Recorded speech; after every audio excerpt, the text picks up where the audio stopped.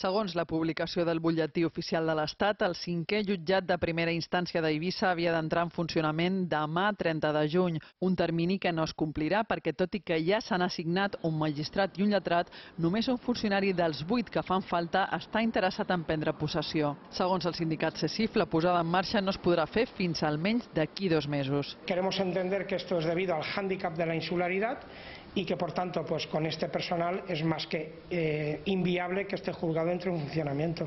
También esto es un poco un auténtico despropósito en el sentido de que mm, se publicó la puesta en funcionamiento de este nuevo juzgado allá por el mes de octubre del año pasado. Han transcurrido prácticamente ocho meses desde entonces y a día de hoy estamos con lo opuesto. El jutjat, que s'ubicarà a l'edifici del CETIS, no té tampoc mobiliari i els ordinadors encara no s'han connectat. Això, segons el sindicat, suposarà una sobrecàrrega de feina per als altres quatre jutjats ja saturats. Cuando entre este juzgado nuevo en funcionamiento, se tendrán que modificar quizás las normas de reparto y asuma eh, una doble carga de trabajo hasta en tanto pues, se ponga un poco a la altura de los otros cuatro.